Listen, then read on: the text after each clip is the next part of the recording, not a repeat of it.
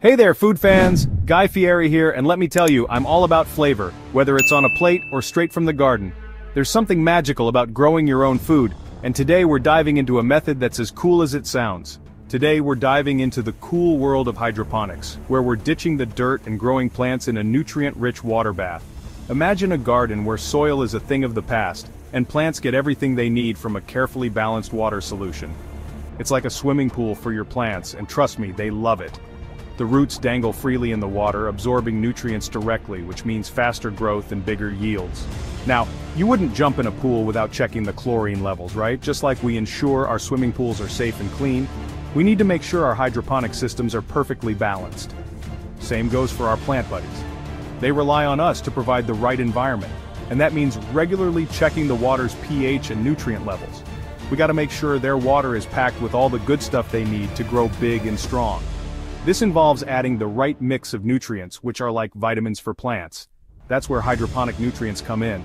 These specially formulated solutions provide everything from nitrogen to potassium, ensuring plants get a balanced diet. Think of it like this. Just like we need our vitamins and minerals to stay healthy, plants crave a balanced diet of nutrients to thrive. Without these essential elements, they can't grow to their full potential. Just like we need our vitamins and minerals, plants crave a balanced diet of nutrients to thrive. These nutrients are the building blocks of life, helping them grow roots, leaves, flowers, and of course, those delicious fruits and veggies we love to munch on. These nutrients are the building blocks of life, helping them grow roots, leaves, flowers, and of course, those delicious fruits and veggies we love to munch on. The beauty of hydroponics is that it allows for precise control over what the plants receive leading to healthier and more productive gardens. So whether you're a seasoned green thumb or just starting out, buckle up as we explore the ins and outs of hydroponic nutrients. We'll dive deep into the science behind it, but don't worry, we'll keep it fun and easy to understand. We'll break down the essentials, show you how to mix the perfect nutrient solution, and give you the know-how to keep your plants happy and thriving. From measuring the right amounts to understanding the role of each nutrient, we've got you covered. Get ready to grow some righteous food, hydroponic style, with the right knowledge and a bit of practice, you'll be harvesting fresh, flavorful produce in no time. So, let's get started on this hydroponic adventure together.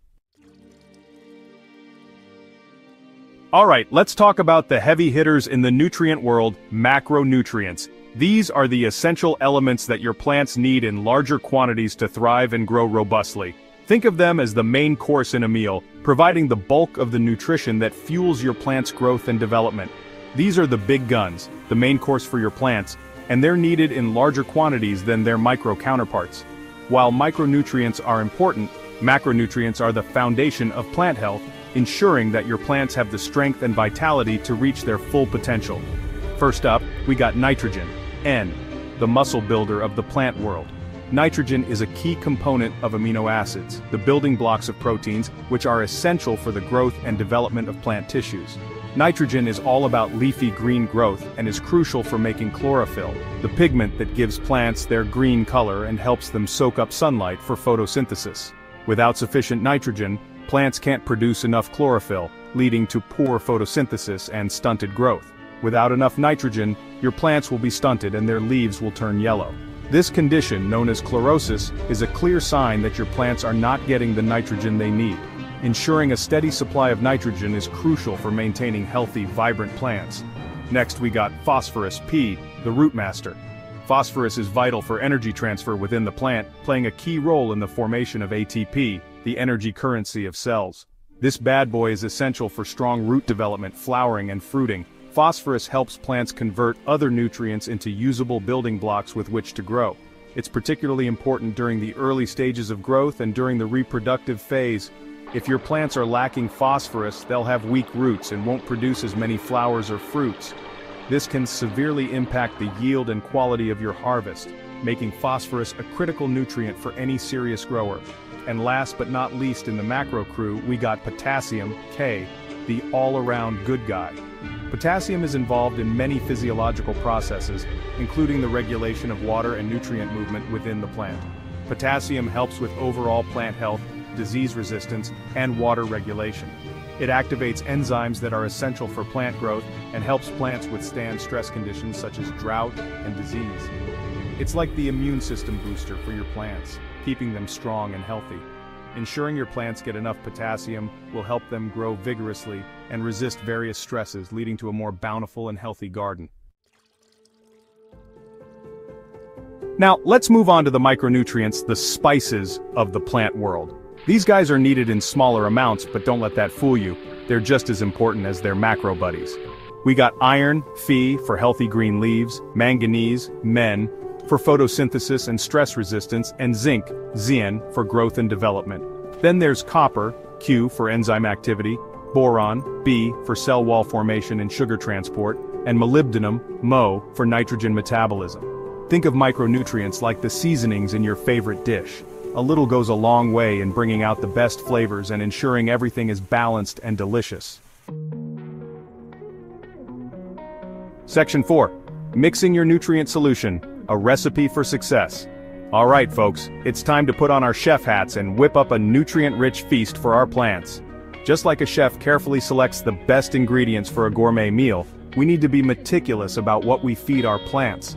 The right nutrient mix can make all the difference in the health and growth of your hydroponic garden. Mixing your own hydroponic nutrient solution is easier than you might think, and it gives you complete control over what your plants are eating.